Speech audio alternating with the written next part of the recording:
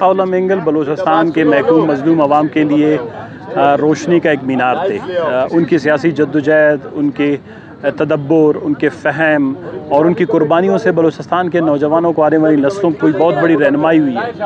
آج بلوچستان میں جہاں وطنی اور قومی سیاست نے اتنا عروج پایا ہے یہ صدارت اللہ مینگل نواب خیر بخش خان مری، نواب اکبر خان بکٹی میر غوث بخش بزنجو میر شیر محمد مری ملک فیض محمد یوسف زی، محمد حسین ان کا عبدالسمد خان اچکزئی عبدالغفار خان۔ مطلب یہ وہ اکابرین ہیں جنہوں نے ان مظلوم اور محکوم اقوام کی جو ہے رہنمائی کی اور صدارت اللہ مینگل ان سب میں منفرد اس لیے بھی تھے کہ ان کا ایک عالمی سطح پر ان کی ایک پہچان بھی تھی۔ انہوں نے بڑی کوششیں کی کہ تدبر کے ساتھ، حکمت کے ساتھ پاکستان کی مقتدرہ کو یہ بات سمجھائیں کہ بلوستان کے ساتھ زیادتی کا سلسلہ بند کیا جائے۔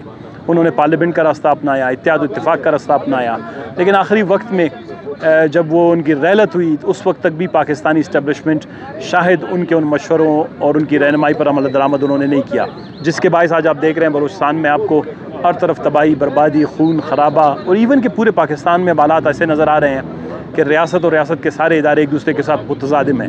یہ اسی لیے ہے کہ جب ریاستیں اپنے قابل پرفہم پر مغز قیادت کو جو ہے نظر انداز کرتی ہے۔ ادارہ اللہ مینگل بلوچستان کے پہلے وزیر اعلیٰ رہے نائنٹی سکسٹی ٹو کی اسمبلی میں کے ممبر رہے۔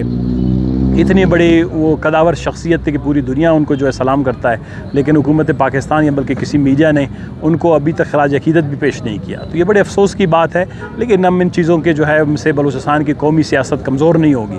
بلوچستان کے لوگوں کے دلوں میں دماغ میں ان کی روح میں، ان کی فکر میں، ان کی سوچ میں سردار عطا اللہ مینگل کی جو ہے، وہ ساری جدوجہد رچی بسی ہوئی ہے۔ اور آج اسی سلسلے میں ان گھٹن آلات میں جہاں بلوچستان میں سیاست کرنا، بات کرنا جرم ہے، ان گھٹن آلات میں بھی بلوچستان کے عوام آج ان کی برسی جو ہے، کوئٹہ میں منا رہے ہیں۔ بلوچستان میں کوئی بھی حکومت تقریباً گزشتہ چالیس پچاس سالوں سے ماں سوائے سردار عطا اللہ مینگل کے ایک نو مہینے تھے۔ یا مختلف مینگل صاحب کی تیرہ چودہ مہینے کی حکومت تھی، نواب اکبر خان بکٹی کی سولہ مہینے کی حکومت کے علاوہ بلوچستان میں آپ مجھے کہیں کہ حکومت کہاں رہی ہے؟ یہ جتنی بھی اسمبلیوں کی کے نام سے یا اسمبلیاں بھر کے پھر اس کے بعد حکومتیں قائم کی جاتی ہیں، یہ اصل میں ایکسٹینشن ہیں۔ ہماری اسٹیبلشمنٹ اور مقتدرہ کی وہ سمجھتے ہیں کہ بلوچستان کو ایک کالونی کے طور پر کمزور لوگوں کے ذریعے سے، کم حلم لوگوں کے ذریعے سے، انتظامی اور آئینی معاملات میں علم نہ رکھنے والے لوگوں کے ذریعے سے چلائیں گے۔ تو آپ دیکھ رہے ہیں کہ بلوچستان میں کچھ بھی نہیں چل رہا۔ بلوچستان کی معیشت، بلوچستان کی سیاست، بلوچستان کے لوگوں کی ساری چیزیں رک گئی ہیں اور یہ جب نالیاں روکنا تو اتنی بڑی بات نہیں ہے۔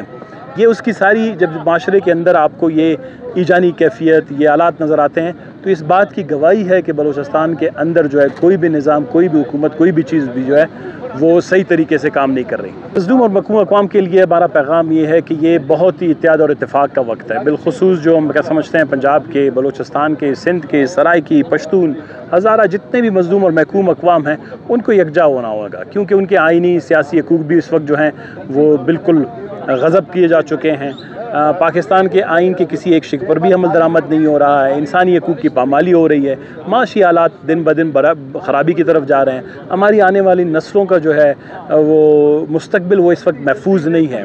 جو ملک معاشی طور پر، معاشرتی طور پر، انتظامی طور پر ہم نعمان کے اعتبار سے اتنا دن بدن بدتر ہوتا جا رہا ہے تو اس ملک میں ہم سارے رہنے والے اس سے براہ راست متاثر ہو رہے ہیں۔ اتحاد، اتفاق کا وقت ہے کہ ہم ایک ایسی جمہوری، حقیقی جمہوری اور آئینی حکومتیں قائم کر سکیں یا نظام قائم کر سکیں جس میں ہر شخص کو انصاف ملے، چاہے وہ پہاڑ پہ ہے زمین پہ ہے ندی، نالوں کے قریب رہ رہا ہے یا ریگستانوں میں رہ رہا ہے۔ تو یہ اتحاد اور اتفاق کے بغیر، تمام قوموں کے اتحاد اور اتفاق کے بغیر ممکن نہیں۔